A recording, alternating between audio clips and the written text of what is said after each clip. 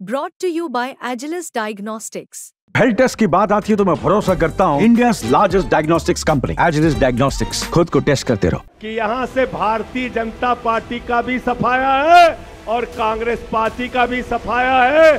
सीधे सीधे सब मिलकर आदर्श पाल को जिता रहे हैं। तो कांग्रेस वाले कैंडिडेट के दिमाग पर और बीजेपी वाले कैंडिडेट के दिमाग पर सत्ता का जो भूत सवार है पाँच तारीख को झाड़ू मार मार के मार मार के मार मार के मार मार के।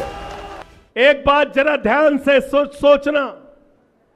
आदर्श पाल को वोट देने के पहले जरा ध्यान से सोचना।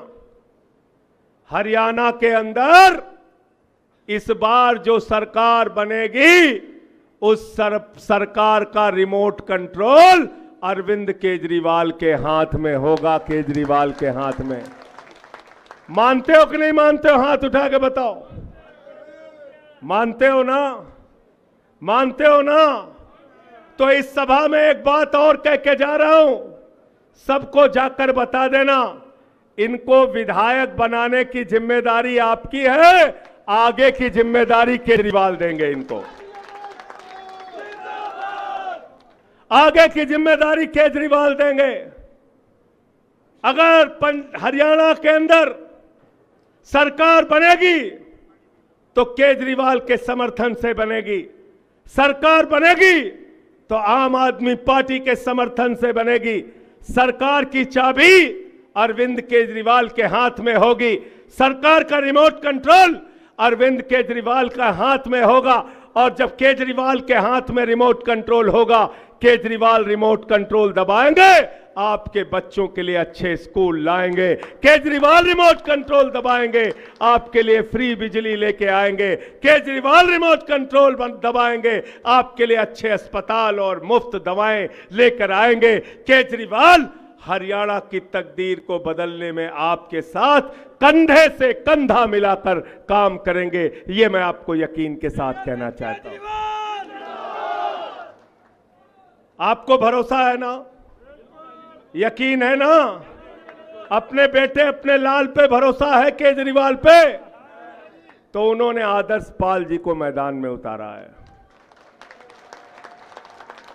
पिछली बार कितना वोट मिला था? इनको अड़तालीस हज़ार वोट मिला था। अड़तालीस हज़ार वोट मिला था। थोड़ा सा कमी रह गई। इस बार कोई कमी मत करना।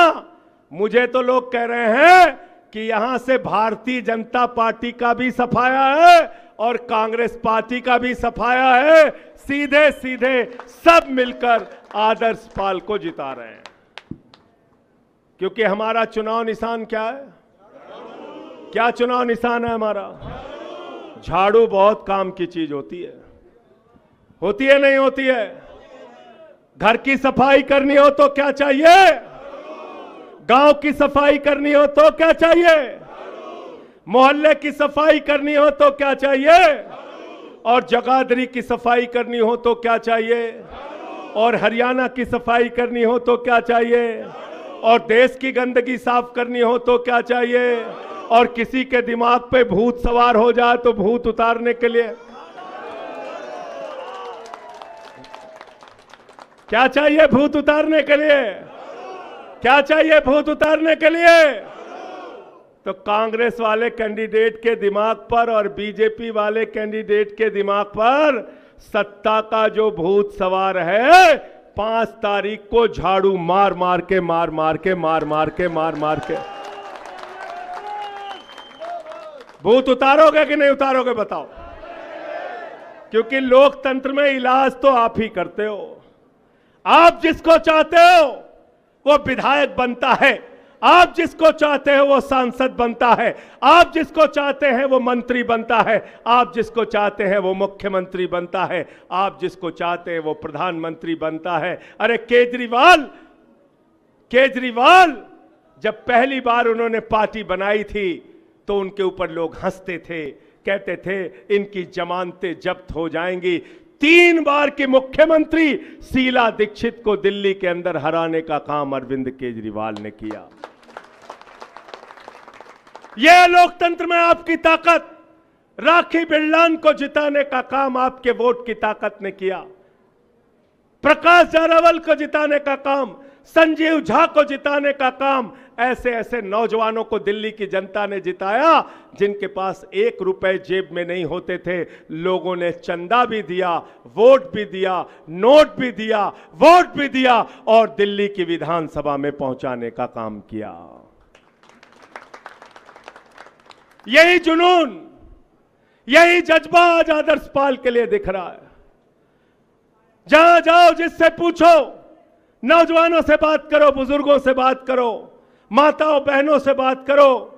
तो लोग कहते हैं, आदर्श पाल ने हमारी बहुत सेवा की है। इस बार सूद समेत, ब्याज समेत उनका कर्जा उतारेंगे, वोट देकर अपने घर वालों का बगल वालों का।